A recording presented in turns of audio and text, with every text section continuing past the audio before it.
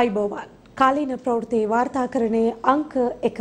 හරිදේ හරියටම කියන සියත මධ්‍යහන ප්‍රවෘත්ති විකාශයයි මේ. මම වත්සලා හෙට්ටිමුල්ල. ප්‍රථමයෙන් පුවත් සිරස්තල. පොළොන්නරුව ඓතිහාසික සොළොස් මස්ථාන පූජාභූමි සංවර්ධන කටයුතු කඩිනම් කරන්න. අග්‍රාමාත්‍ය මහින්ද රාජපක්ෂ නියෝග කරයි. දිවයින පුරා තිහට වැඩි පිරිසට තෙවන මාත්‍රාව ලබාදීම අද සිට රෝගීන් වාර්තාවීම සුළුවෙන් තකන්න බැහැ විශේෂඥ වෛද්‍ය හේමන්ත කියයි. ඔමික්‍රෝන් ප්‍රභේදයම යම් වෙනසක් ඇති වෛරසයක් ඕස්ට්‍රේලියාවේ කවින්ස්ලන්ඩ් ප්‍රාන්තයෙන් එය ඔමික්‍රෝන්හි නව විකෘතියක්ද තවම නිශ්චිතව තහවුරු වී නැහැ. අයවැය තුන්වන වර කියවීමේ චන්ද විමසීම අද පස්වරුවේ. තවත් ගෑස් නැවක් අද තිබයිනට ප්‍රමිතිය පරීක්ෂා කරනතුරු ගොඩබෑමට අවසර දෙන්නේ නැහැ රාජ ඇමති ලසන්ත කියයි. මෙහෙම පිරිහුණු පාර්ලිමේන්තුවක් කවදාවත් දැක නැති බව හිටපු ජනපති මෛත්‍රී කියයි. රාජ්‍ය ඇමති රොෂාන් ගහල පන්නන්න හදන ආණ්ඩුවේ තිදෙනා කවුද. ප්‍රවීණ චිත්‍රපට අධ්‍යක්ෂ සුනිල් සෝම පීරිස් මහතා අභාව ප්‍රාප්ත වේ. මිය කිය ඩොල්ෆින් මත්සයින් නව දෙනෙකු මුලතිවුම් මුහුදු තීරයට. ප්‍රථමයෙන් දේශය පුවත්. අදත් තවත් ගෑස් මැවක් කොළඹ වරායට ළඟාවීමට නියමිතයි. එහි ප්‍රමිතිය පරීක්ෂා කිරීමෙන් අනතුරුව ගෑස් ගොඩබෑමට ඉඩ ලබා දෙන බව රාජාමාත්‍ය ලසන්ත අලගිය වන්න මහතා ප්‍රකාශ කළා. අදත් ගෑස් සිලින්ඩර ආශ්‍රිත පිපිරීම් වාර්තා වුණා. ගෑස්වල ප්‍රමිතිය පිළිබඳ රික් පෙත්සම මේ වන විට අධිකරණය සලකා බලමින් සිටින බවයි වාර්තා වන්නේ. මේ වන විට දෙවයිනේ විවිධ ප්‍රදේශවල ගෑස් පිපිරීම් වාර්තා වනවා. තමුත්තේගම දෙල්නේගම ප්‍රදේශයේදී ගෑස් පිපිරීමක් සිදුව ඇති බවයි අප වාර්තාකරු ප්‍රකාශ කළේ.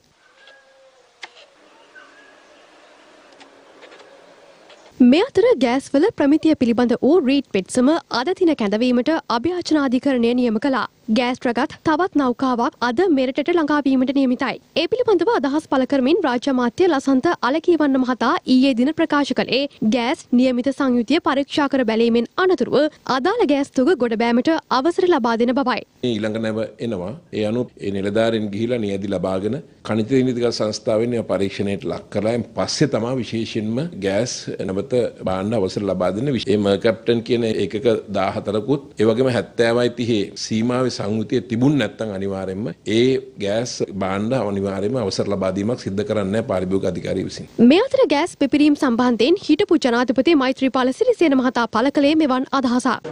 උපුරන්ට ඉස්සෙල්ලත් අපේ ගෙදර ගෑස් එළිය තියලා තිබුණේ අපි අතුරට බඩු දෙයක්. ජනතාවටත් කියනවද එළිය ගෑස් එක තියන්න කියලා ඔබතුමා? මම හිතන්නේ ඒක තමයි හොඳ. ඒක බේරෙන්න පුළුවන් ඒ ඇත්තටම මේ ආණ්ඩුවට මේ ගෑස් එක ගැන. බේරෙන්න නම් අමාරුයි. වයස අවුරුදු 30ට වැඩි පුද්ගලයන්ට බූස්ටර් එන්නත ලබා දීම අද ආරම්භුණා. දෙවන එන්නත ලබාගෙන මාස 3ක් ගිය පසු බූස්ටර් එන්නත ලබාගත හැකි බවයි සෞඛ්‍ය සේවා අධ්‍යක්ෂ ජෙනරාල් වෛද්‍ය අසේල ගුණවර්ධන මහතා ප්‍රකාශ කළේ. දැන් කොවිඩ් පිළිබඳ සම්පූර්ණ වාර්තාව. දිවෙන පුරා වයස අවුරුදු තිහට වඩා වැඩි පුද්ගලින් සඳහා බූස්ට එන්නත ලබාදීම අද සිට ආරම්භ වුණා. තෙවන මාත්‍රාව ලෙස ෆයිස එන්නත ලබා දෙන බවයි සෞඛ්‍ය සේවා අධ්‍යක්ෂ ජෙනරාල් වෛද්‍ය අසේල ගුණවර්ධන මහතා ප්‍රකාශ කළේ.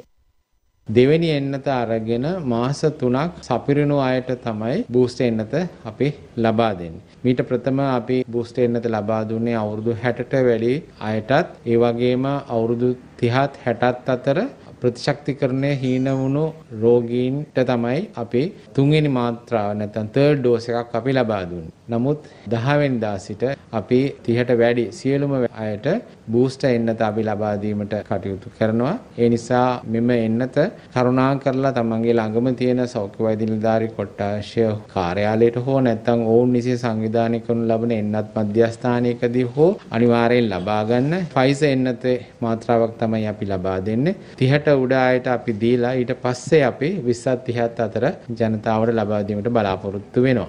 ඊයේ දිනේත් කොවිඩ් නව රෝගීන් 744 දෙනෙකු වාර්තා වුණා. රෝගීන් මෙලෙස වාර්තා වීම සුළුවෙන් තැකිය නොහැකි බවයි විශේෂඥ වෛද්‍ය හේමන්ත හේරත් මහතා පවසන්නේ. මේක සෑල්ුවෙන් ගත යුතු ක්‍රියාවක් නෙවෙයි. ඒකට හේතුව අ, අඩු නොවීම මං හිතනවා අපේ පැත්තෙන් ගත්තාම අපි බරපතල දෙයක් හැටියට දකිනවා. ඒ වගේම තමයි සමහර වෙලාවල් වලට සමහර රෝහල් වලින් අපිට දැනුම් දීලා තියෙනවා තමන්ගේ රෝහලට වෙනදට වඩා රෝගීන් එනවායි කියලා. මොකද එක් ප්‍රදේශයකින් අඩු වෙනකොට තව ප්‍රදේශවල වැඩිවීමක් ඒ කියන්නේ දකිනවා වෙන්න පුළුවන්. සමස්ත රෝගීන් සංඛ්‍යාව බරපතල ලෙස වැඩිවීමකින් තොරව මේ තත්ත්වයක් දිගටම පවත්වාගෙන යාමට පැවතීමට හේතුව සමහර විට එක් ප්‍රදේශයක අඩු වෙනකොට අනෙක් ප්‍රදේශයේ වැඩිවීම වෙන්න පුළුවන්. කොවිඩ් වෛරසය ආසාදනය වී සිදු වූ තවත් මරණ විසි දෙකක් ඊයේ වාර්තා වුණා. අදාළ මරණ පෙරේදා දින සිදුව ඇති බවයි සෞඛ්‍ය සේවා අධ්‍යක්ෂ ජනරාල්වරයා තහවුරු කළේ. මියගිය පුද්ගලින් අතරට කාන්තාවන් නව දෙනෙකු හා පිරිමි පුද්ගලින් දහතුන් දෙනෙකුද ඇතුළත්. ඒ අනුව මෙරට සමස්ත කොවිඩ් මරණ සංඛ්‍යාව දා හතර දහස් පන්සේ පනස් පහ දක්වා ඉහළ ගොස් තිබෙනවා. ඔමික්‍රෝන් ප්‍රභේදයේම ස්පයික් ප්‍රෝටිනේ යම් වෙනසක් ඇති වෛරසයක් හඳුනා ගැනීමට ඕස්ට්‍රේලියාවේ ක්වීන්ස්ලන්ඩ් ප්‍රාන්තයේ විශේෂඥයින් සමත් වී තිබෙනවා.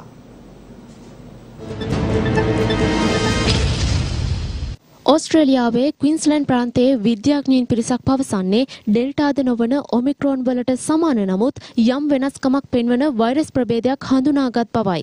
එය ඔමික්‍රෝන් ප්‍රභේදයේම නව විකෘතියක්ද යන පිළිබඳව දැන් පර්යේෂණ ආරම්භ වී තිබෙනවා. ඕස්ට්‍රේලියාවේ ක්වින්ස්ලන්ඩ් වෙත පැමිණි විදේශකයෙකුගේ සාම්පල් පරීක්ෂාවකදී මෙම වෙනස්කම හඳුනාගෙන ඇත්තේ. ලෝකයේ දැනට භාවිත කරන කොවිඩ් එන්නත් බොහොමයක් නිර්මාණය කර ඇත්තේ කොවිඩ් වෛරසයේ ස්පයික් ප්‍රෝටීනය පදනම් කරගෙනයි. ස්පයික් ප්‍රෝටිනවල විකෘතිතාව වැඩි වුවහොත් දැනට පවතින එන්නත්වලට කොවිඩ් මර්ධනය කිරීමට ඇති හැකියාව තර්ජනයකට ලක්වනු ඇතැයිද සමහර විද්‍යාඥයින් බිය පළ කරනවා. මේ අතර ඕස්ට්‍රේලියාවේ වයස අවුරුදු පහත් එකොළහත් අතර ළමුන්ට කොවිඩ් එන්නත ලබා දීමට තීරණය කර තිබෙනවා. ලබන ජනවාරියේ සිට එන්නත්කරණය ආරම්භ කරන බවයි අගමැති ස්කොට් මොරිසන් පවසන්නේ. ඔමික්‍රෝන් ප්‍රභේදය තවමත් නම් කර සති තුනකට ආසන්න කාලයක් පමණයි ගෙවී ගොස් ඇත්තේ. මුලින් විවිධ පර්යේෂකයින් පළ කළ මත අද වන විට යම් ප්‍රමාණයකට වෙනස් වෙමින් පවතිනවා. විශේෂයෙන් මෙම වෛරස් ප්‍රභේදය මුලින් හඳුනා ගනු ලැබුවේ දකුණු අප්‍රිකාව ආශ්‍රිතවයි. ඔමික්‍රෝන් දකුණු අප්‍රිකාවේ සමහර රටවල් වල සීග්‍රේන් පැතිර යමින් තිබෙනවා. නමුත් දකුණු අප්‍රිකානුවන් මෙම වෛරස් ප්‍රභේදය ඔමික්‍රෝන් ලෙස හඳුන්වනවාට වඩා උණ ලෙස භාවිත කරන බවයි මාධ්‍ය වාර්තා කර ඇත්තේ. ඩෙල්ටා වෛරස් ප්‍රභේදයට සමාන රෝග ලක්ෂණම ඔමික්‍රෝන් ආසාදිතයින්ගෙන්ද දක්නට ලැබෙන බව වෛද්‍ය විශේෂඥයින් පවසනවා. රෝහල් ගතවන රෝගීන්ගේ සංඛ්‍යාව වැඩි වුවද ඔක්සිජන් අවශ්‍ය රෝගීන් ඉතා අඩු බවයි වෛද්‍යවරුන් පෙන්වා දෙන්නේ. ඔමික්‍රෝන් බෝම්බයක් පුපුරා ගියක් මෙන් ව්‍යාප්ත වන බවද විශේෂඥ වෛද්‍යවරුන් පවසනවා. මේ වන විට රටවල් 50කට වැඩි සංඛ්‍යාවකින් ඔමික්‍රෝන් ප්‍රභේදය ආසාදනය වූවන් හමු වී තිබෙනවා. මේ අතර බ්‍රිතාන්‍ය පර්යේෂකයන් පිරිසක් පවසන්නේ ඔමික්‍රෝන් ප්‍රභේදය වායුගෝලය හරහා වේගයෙන් පැතිර යාමේ ලක්ෂණ පෙන්눔 කරන බවයි. මුහුණු ආවරණ අනිවාර්යෙන්ම භාවිතා කළ යුතු බවද බ්‍රිතාන්‍ය පර්යේෂකයන් පෙන්වා දෙනවා. පොළොන්නරුව ඓතිහාසික සොළොස් මස්ථාන පූජා භූමි සංවර්ධන කටයුතු කඩිනම් කරන ලෙස අග්‍රාමාත්‍ය මහින්ද රාජපක්ෂ මහතා රාජ්‍ය නිලධාරීන්ට උපදෙස් ලබා දී තිබෙනවා. පොළොන්නරුව ඓතිහාසික සොරොස් මස්ථාන පූජා භූමි සංවර්ධන කටයුතු පිළිබඳ සොයා බැලීමේ සාකච්ඡාව අරලියගහ මන්දිරයේදී අග්‍රාමාත්‍ය මහින්ද රාජපක්ෂ මහතාගේ ප්‍රධානත්වයෙන් පැවැත්වුණා. සොරොස් මස්ථාන පූජා භූමිය විදුලියෙන් ආලෝකමත් කිරීමේ අවශ්‍යතාවය මෙහිදී අස්ගිරි පාර්ශවයේ අනුනායක මහනුවර ඓතිහාසික ගෙඩිගේ රජමහා විහාරාධිපති හා පොළොන්නරුව සොරොස් මස්ථානාධිපති ශාස්ත්‍රපති අතිපූජ්‍ය වෙනරුවේ උපලිනා හිමියන් පෙන්වා දුන්නා. ඒ සඳහා අවශ්‍ය පියවර කඩිනමින් ගන්නා ලෙස විදුලි බල මණ්ඩලයේ සභාපති MMC ෆර්ඩිනෑන්ඩ් ආණ්ඩු මහතා වෙත දැනුම් දුන් අග්‍රාමාත්‍යවරයා ලබන වසරේ මැයි මාසයේ සිට පූජා භූමිය ආලෝකකරණයේ විදුලි බිල මධ්‍යම සංස්කෘතික අරමුදලෙන් ගෙවන ලෙස මධ්‍යම සංස්කෘතික අරමුදලේ අධ්‍යක්ෂ ජෙනරාල් මහාචාර්ය ගාමිණී රණසිංහ මහතාට උපදෙස් ලබා දුන්නා. දෙස්විද සංචාරකීන්ට සහ වන්දනාකරුවන්ට පූජා භූමිය තුළ පහසුවෙන් ගමන් කිරීමට හැකිවන ලෙස පූජා භූමිය ඇතුළත මාර්ග කාපට් අතුරා සංවර්ධනය කිරීමට පියවර ගන්නා ලෙස මහාමාර්ග අමාත්‍යාංශ ලේකම් RWR පේමසිරි මහතාට උපදෙස් දෙමින් අග්‍රාමාත්‍යවරයා පූජා භූමි සංවර්ධන සැලසුම් සැලසුම කෙරෙහි සිය විශේෂ අවධානය යොමු කළා.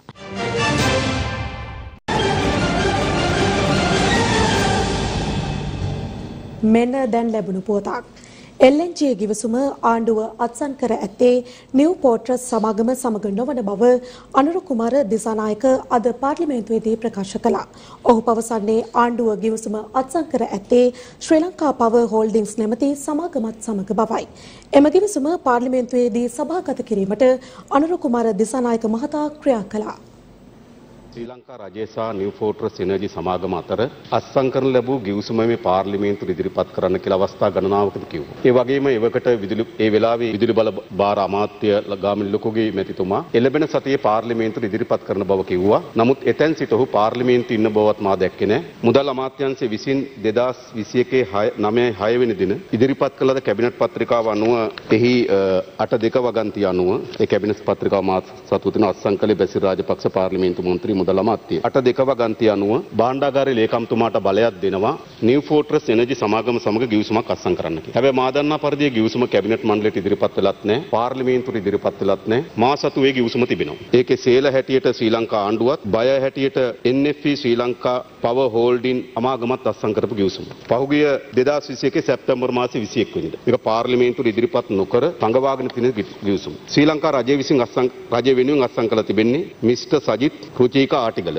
මම හිතනවා බාණ්ඩාගාරයේ ලේකම් ආටිගල මහත්මයාගේ සම්පූර්ණ නම වෙන්නේ. ඒතර මේ ගිවිසුම තමයි මේ පාර්ලිමේන්තුව ඉදිරිපත් කරන්න කියලා අපි අවධාරණය කරේ. ඒ මොකද මේක පෞද්ගලික දේපල පවරාදීම් පිළිබඳ ගිවිසුමක් නෙවෙයි. තමුන්නාන්සේලාගේ යම් බලයක් ඇටෝනි බලපත්‍රයක් කරා තව කෙනෙකුට පවරාදීමේ ගිවිසුමක් නෙවෙයි. අද පසුරුවේ අයවැය තුන්නර වර කියවීමේ අදාළ ඡන්ද විමසීම පැවැත්වීමට නියමිතයි.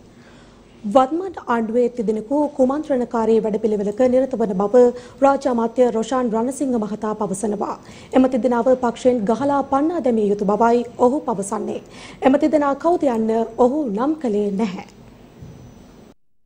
දේශපාලනය ගත්තාම එක පිරිසක් ඉන්නවා බොහොම අප්‍රසන්නයි. එයාලගේ වැඩපිළිවෙලම තමයි එහෙට පයින්නවා මෙහෙට පයින්නවා කුමන්ත්‍රණ කරනවා. ඒ එයාලට ඕන සදාකල් ඇමතිකමක ඉන්න. එයාලා රට ගැනවත් ජනතාව ගැනවත් හිතන අය නෙමෙයි. දැන් ශ්‍රී ලංකා නිදහස් පක්ෂයත් වෙන මිල්ලුවනේ දිස්ත්‍රික්ක ගණනාවක. ඒ ඉල්ලපු දිස්ත්‍රික්ක පරාදයි. ශ්‍රී ලංකා නිදහස් පක්ෂ. ශ්‍රී ලංකා නිදහස් පක්ෂයේ සමහරු ආප්පකාලා පැනලයත් මහින්ද රාජපක්ෂ මහත්තයාගෙන් පස්සේ ශ්‍රී ලංකා නිදහස් පක්ෂයේ හිටපු ඊළඟ නායකයා තමයි නිමල් සිරිපාල්ද සිල්වා මැත්තෝ. මනම් මම දකිනවා ශ්‍රී ලංකා නිදහස් පක්ෂයේ නායකත්වයේ ගත යුත්තේ එතුමයි කියන එක මේ වෙලාව. පැහැදිලිවම අපි දැක්කෝ. දැන් මේ ආණ්ඩුව හොඳට රට කරගෙන යනවා. හරි යම් මොහ අඩුපාඩුවක් තියමු කිව්වොත් ගේන්නේ කවුද කියන්නකෝ. සජිත් ගේන්නද නැහැ. ජනතාව ප්‍රතික්ෂේප කළා ඉවරයි. රනිල් ගේන්නද නැහැ. ජනතාව ප්‍රතික්ෂේප කළා ඉවරයි. මෛත්‍රීපාල මහත්තයා ගේන්නද නැහැ. ජනතාව අවුරුදු 4න් ගෙදර යවලා ඉවරයි. ආණ්ඩුවක ඇතුලේ ඉඳගෙන කටයුතු කරද්දී එය ආණ්ඩුව ගන්න තීන්දුව තීරණ වලට සහාය දෙන්න. එහාට මෙහාට පයින්න බලාගෙන ඉන්න අය තවදුරටත් මම හිතනවා අපේ කණ්ඩායම ඇතුලේ දෙතුන් දෙනෙක් නොහිටියට කමන්නේ. ඒක හින්දා මේ කුමන්ත්‍රණ සියල්ලම කරන්නේ අපේ කණ්ඩායම ඇතුලේ තුන් දෙනෙක් විතර. ඒක හින්දා මුන් තුන් දෙනා අපි ගහලා හරි පන්නන්නු.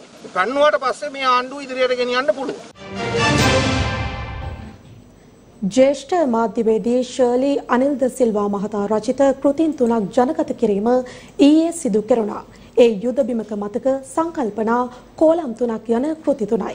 හිටපු ජනාධිපති මෛත්‍රීපාල සිරිසේන මහතා උත්සවයේ ප්‍රධාන ආරාධිතයා ලෙස එක් වුණා. ශර්ලි අනිල්ද සිල්වා මහතා සිය රූපවාහිනී මාධ්‍ය ජීවිතය ආරම්භ කරන ලද්දේ එදහස් නවසය අසුව දශකයේදී. ඒ රූපවාහිනී නිෂ්පාදකයකු ලෙසයි.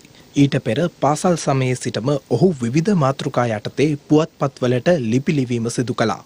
ජාතික රූපවාහිනිය තුළ යුදපුවත් වාර්තාකරුවකු ලෙසද ඔහුගේ භූමිකාව කැපී පෙනුණා. ප්‍රවෘත්ති නිෂ්පාදකයකු ලෙස අමතක නොවන කාර්යභාරයක නිරත වූ ශේලි අනිල්ද සිල්වා මහතා ජාතික රූපවාහිනියේ ප්‍රවෘත්ති අධ්‍යක්ෂකවරයෙකු ලෙසද සේවය කළා. ඔහු රචනා කළ කෘති තුනක් හිටපු රූපවාහිනී සභාපති රවි ජයවර්ධන හිටපු ජේෂ්ඨ පොලිස් අධිකාරී පාලිත පනාමල්දනිය බ්‍රිගේඩිය උදේනි කටුගම්පල යන මහත්වරුන්ට පිළිගැන්වුවා. මෙම අවස්ථාවට එක් වූ හිටපු ජනාධිපති මෛත්‍රීපාල සිරිසේන මහතා. අද අපේ පාර්ලිමේන්තුව මම හිතනවා මේ රටේ පාර්ලිමේන්තු ඉතිහාසයේ කිසිම දවසක නැති විදිහට පිරිහිච්ච පාර්ලිමේන්තුවක් කියලා. මමත් පාර්ලිමේන්තුවට යන්නේ පාර්ලිමේන්තුවේ අඩුවෙන්ම ඉන්න වෙලාව කොයි වෙලාවද කියලා බලලා තමයි මම යන්නේ.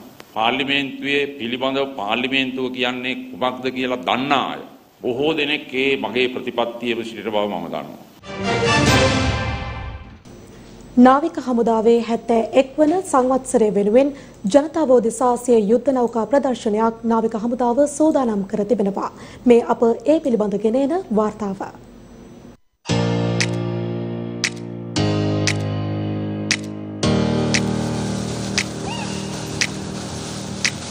නාවික හමුදාවේ හැත්තෑ එක්වන සංවත්සරයට සමගාමීව ජනතාව උදෙසා සිය යුද්ධ නෞකා ප්‍රදර්ශනයක් නාවික හමුදාව සූදානම් කර තිබෙනවා.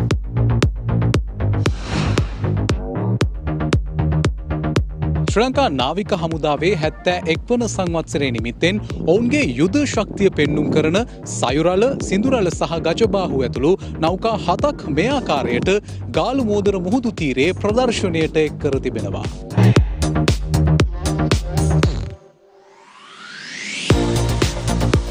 නාවික හමුදාවේ යුද නෞකා අද දවස තුළ ජනතාවට නැරඹීමට අවස්ථාව ලැබෙනවා. ඒ ගාලු මෝදර මුහුදු තීරයේදී. නාවික හමුදාවේ හැත්තෑ එක්වන සංවත්සරේ නිමිත්තෙනුයි ජනතාවට මේ අවස්ථාව ලබාදී ඇත්තේ. මෙම නෞකා සියල්ල නෞක දජුවලින් සරසා තිබෙනවා. මේ අතර නාවික හමුදා සම්ප්‍රදායට අනුව හිරු අවරට යාමත් සමග නෞකාවල දජ ඉවත් කර නෞකාව ආලෝකවත් කිරීම සිදුවනවා.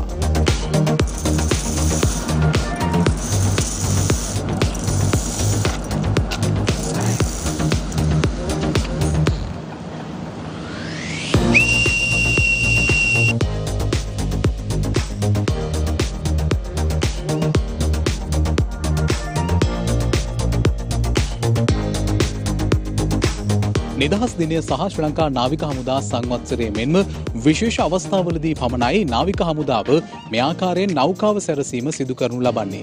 ඒ අනුව දහවල් කාලයේදී කොඩිවලින් නෞකාව සරසන අතර රාත්‍රී කාලයේදී මෙයාකාරයෙන් විදුලි ආලෝකයෙන් නෞකාව සැරසීම සිදු කරනු ලබනවා.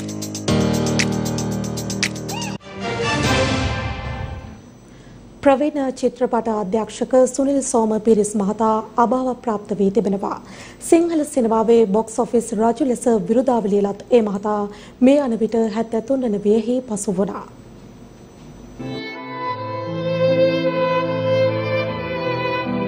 සිංහල සිනමාවේ බොක්ස් ඔපිස් රජු ලෙස විරුදාවලිලත් ප්‍රවීණ චිත්‍රපට අධ්‍යක්ෂක සුනිල් සෝම පීරිස් මහතා අභාව ප්‍රාප්ත වී තිබෙනවා. ඒ අදාළියම පහයිතියට පමණ මහරගම වත්තේ ගෙදර පිහිටි ඔහුගේ නිවසේදී. මේ යන විට ඒ මහතා 73 වන වියේ පසු වූවා. සුනිල් සෝම මහතා අධ්‍යක්ෂණය කළ චිත්‍රපට සංඛ්‍යාව 50කට අධිකයි. ජය පිට ජය, දිවුරා කියන්නම්, මමයි රජා, දිනුම, රජ වැඩකාරියෝ ඔබටයි ප්‍රිය ආදරේ, චණ්ඩි රජා, චණ්ඩි රැජින ඔහුගේ චිත්‍රපට අතර ප්‍රමුඛයි. ඒ මහතා නළුවෙකු නිෂ්පාදකවරයෙකු තිර රචකයෙකු ලෙසින්ද සිනමාවට සිය දායකත්වය ලබා දී තිබෙනවා. දීර්ඝ කාලීන නිදන්ගත රෝගයකින් පීඩා විඳි ඒ මහතා අදාළුවෙම අභාව ප්‍රාප්ත වූවා. සුනිල් සෝම පීරිස් මහතාගේ අවසන් කටයුතු ඉරිදා සවස මහරගම ගොඩිගමුව සුසාන භූමියේදී සිදු කිරීමට නියමිතයි. සිංහල සිනමාව පෝෂණය කළ ප්‍රවීණ චිත්‍රපට අධ්‍යක්ෂක සුනිල් සෝම පීරිස් මහතාණෙනි ඔබට වොයිස් ඔෆ් ඒෂියා මාධ්‍ය ජාලය නිවන් සුව ප්‍රාර්ථනා කරනවා.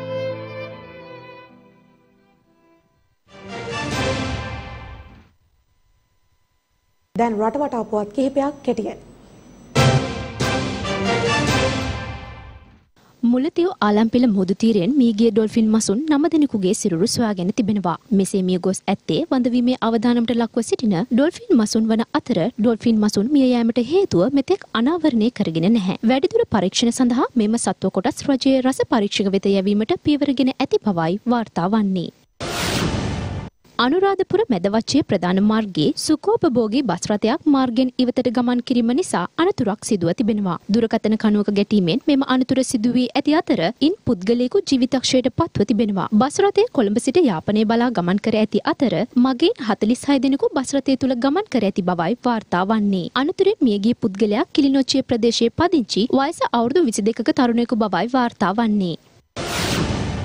අකුරල කහව නොගැඹුරු මුහුදු තීරයේ මේ දිනවල කිඹුලෙකු ගැවසෙන බවට වාර්තා වනවා. මෙම කිඹුලා ඊයේ රාත්‍රියේ සිට මෙසේ මුහුදේ දක්නට ලැබෙන බවයි ප්‍රදේශවාසීන් පවසන්නේ.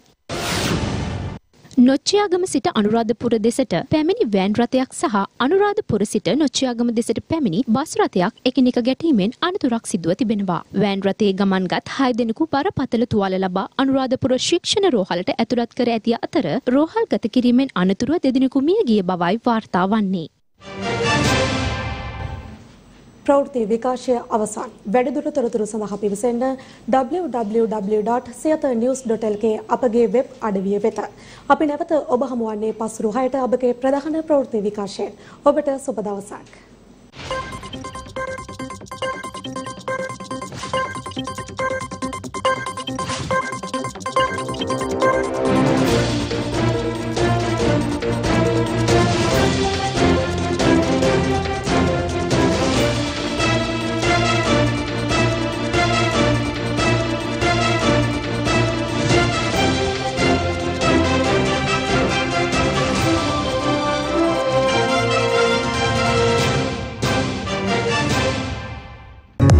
දිනපතා අලුත් වීඩියෝ සහ ප්‍රවෘත්ති නැරඹීමට ඉහත බටන එක ක්ලික් කර සියත TV සබස්ක්‍රයිබ් කරන්න.